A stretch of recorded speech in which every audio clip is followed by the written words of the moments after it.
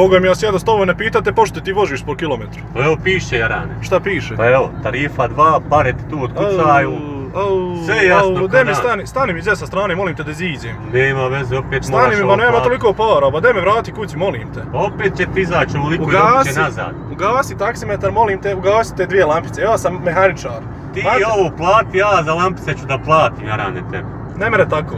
Ne mere tako, upalio si tarifu dva, pa ne voziš ti mene na maturu, bol. Noćna vožnja. Ja ako ne imam kola, ne mora znaš da me moraš uzmat kovcu ovdje. Kaka noćna vožnja, viš da je dan. Dan, ja nisam ni Ja svjetalo stan upalio. upalim svjetla ksenune.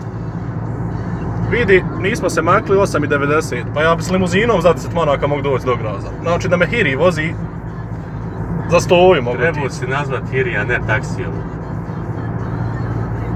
Daj mi stani sa strane, Neće ti izaći ni 15 maraka do Srbije. Povratit ću. Povratit Ti ću. si mehančar, ti si pun para. Jesu blindirana kola? Plus prodao s kola, para imaš ko, ko, ko Kuprić. Ne, me ljudno šta zapalit, viš da sam duhan moto ispred kuće. Stani mi tu da, skre, izi, da iziđe, molim te. Stani da kupim nešto na pumpi.